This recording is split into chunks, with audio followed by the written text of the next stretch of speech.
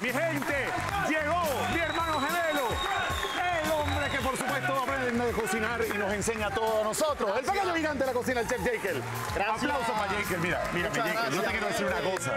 Llegaste de verde y amarillo. ¿Por qué llegaste de verde y amarillo hoy, Bueno, y es Jekyll, que es ah? la temporada perfecta para conservar y ahorrar dinero, mi gente. Este es el momento preciso para comprar limón y hacer jugo de limón y tener todo el año. ¿Esto es temporada ahorita más o menos? Esto es temporada. Ok. Esto es temporada de limón. Está bastante barato, mi gente. Y yo creo que ustedes lo pueden comprar ahora para conservarlo y tener todo el año. Eso es bueno, Jekyll, porque fíjate, hay una época en la que los limones empiezan a parecer caros y duros. Caros y con ¿Sí mala o no? calidad. Con mala calidad. Entonces uno dice, me subieron el precio del limón, porque yo me doy unas frustradas cuando voy al supermercado. Bueno, yo estoy pendiente del precio del limón. Hoy te vamos a enseñar a ti y a toda la familia para que lo puedas hacer en casa. Ayúdame con la hora de comprar el limón. A ver, primeramente, mientras más duros, más pesados y más brillosos estén los limones, mejor, de mejor calidad van a estar. duro, pesado, pesados brilloso. y brillosos. Esos son los síntomas perfectos para saber que nuestro limón está en perfecto estado. Ok, entonces buscamos esas características a la hora de comprarlo en el supermercado. Ahora, ¿qué tiene que ver un frasco de agua? Porque tú estás recomendando un frasco de agua. ¿Qué tiene que ver eso con el Bueno, limón? vamos a ponerlo, quiero que lo vayas poniendo. Pon dos de los limones amarillos. Ok. Vamos a mantenerlo fresco en nuestra nevera, así enterito. Lo vamos ¿Entero? a echar en un frasco. Esto yo no lo había visto, Jake. Eso lo vamos a poner en un frasco,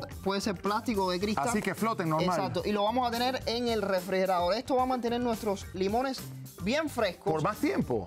Bueno, por más tiempo para utilizarlo rápido en casa. Pero hay un proceso que es bien sencillo, bien fácil. ¿Esto no, es No. limonada? ah, yo pensaba, yo iba a darle ya con la limonada. Esto para mantenerlos frescos en el refrigerador, es decir, los limones. Ahora, para conservarlos, hay muchísimos métodos. Hoy les voy a enseñar uno de ellos. Ok. Yo quería preguntar por este punto número 3 que trajiste, que es la ralladura de la cáscara de limón. Ok. ¿Para Ah, qué se usa la ralladura de la cáscara? La ralladura de la cáscara de limón tiene múltiples usos. Uno puede ser para los postres, puede ser para las galletas, le da un toque especial. Ay, una galletita que tenga un toquecito de limón. Exacto, Ah, la qué ralladura. Pero hay un toque muy especial y es que vamos a utilizar 100 gramos, 100 gramos de sal con 8 gramos de ralladura de limón. Y esto lo vamos a mezclar. Quiero que lo mezcles. A ver, espérate, a ver. La Aquí ralladura de limón Tú y la agarraste sal. sal, Jake. Sal. Agarraste salecita.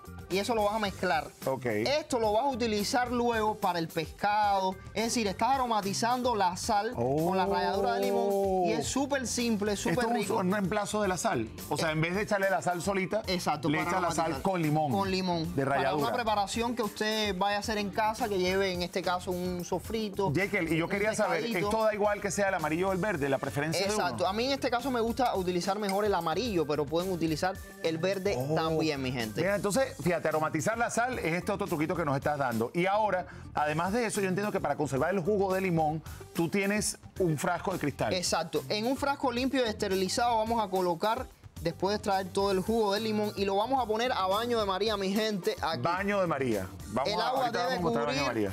completamente el recipiente y una vez que comience a hervir el agua, Ajá. vamos a darle 15 minutos. Usted va a tener más de un año este jugo de limón en su casa. Más de un año. Más de un año. Aplausos, señores, que eso está buenísimo. Pero yo quiero repasar esto.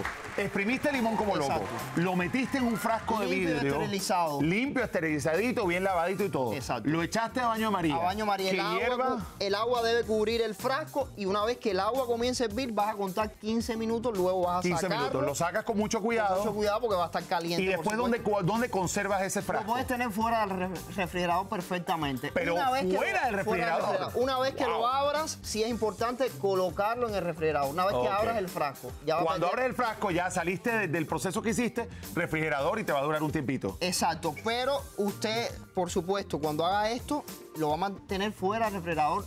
Todo el tiempo que haga falta, es como tiempo. una conserva, más o menos, que hiciste, Exacto, ¿verdad? es una conservación mediante un proceso que ya se llama pasteurización. ¿y esto qué haces con? ¿Por qué nos trajiste unas cubiteras estas de, de- vamos, de hielo? esto es otro de los métodos que yo utilizo mucho y es que el jugo de limón lo puedo tener en cubiteras de hielo, lo congelo.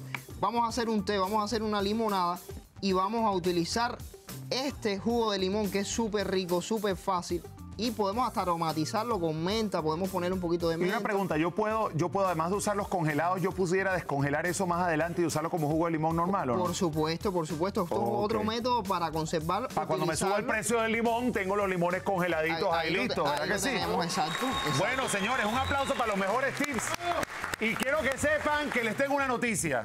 La próxima semana este segmento es en inglés porque el chef Jekyll se hizo ciudadano, señores. Un aplauso. Jekyll. Ahí gracias, estás en tu gracias. ceremonia de ciudadanía. Súper feliz. Oye, ¿tú hiciste ese examen en inglés? En inglés sí se. Oye. Muchas felicidades también a todo el equipo de mi escuela, a todos los profesores que me, que me enseñaron. Fue una tarea. Claro, y el agradecimiento que le tienes, ¿verdad que sí? Mucho, muchas gracias también a todas las personas que me apoyaron. Bueno, aplausos para el Little Giant of the Kitchen. El Chef Jekyll. Exactamente, aplausos Bueno, nos encanta tener esta buena noticia. Viene Cristian Latina en camino con el horóscopo del día. La carta de un hombre que quiere saber si debería volver a su horario de trabajo anterior, porque en ese turno está la mujer que le gusta. Además de eso, noticias con Jorge Hernández y la información más útil de la televisión en Miami, aquí en este viernes en minutos.